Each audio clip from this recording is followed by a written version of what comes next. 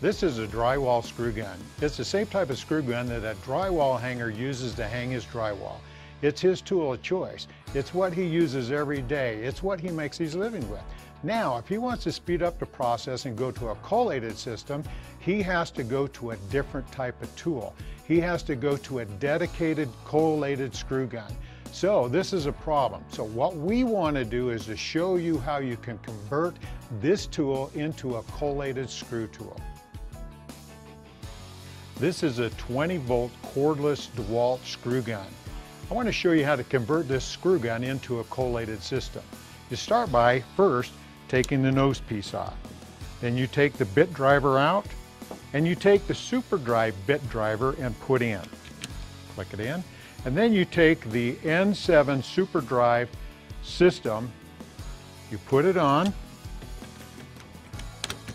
and make sure you lock it into place and you're good to go.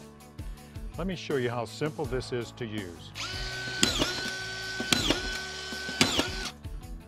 To convert this back, it is very simple. Just unlock it, take this system off, take the bit out, put the no new bit back in, put the nose piece on, you're good to go. If your tool of choice is Makita, it's still a very simple process.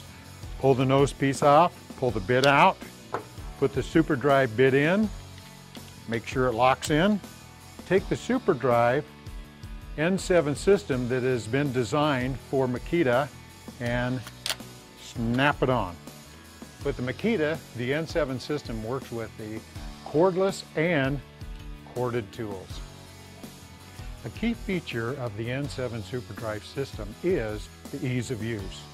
Push a button to adjust the screw length, and turn a wheel to adjust the depth of drive. Another key feature is this nose piece. It lets you get into tight corners.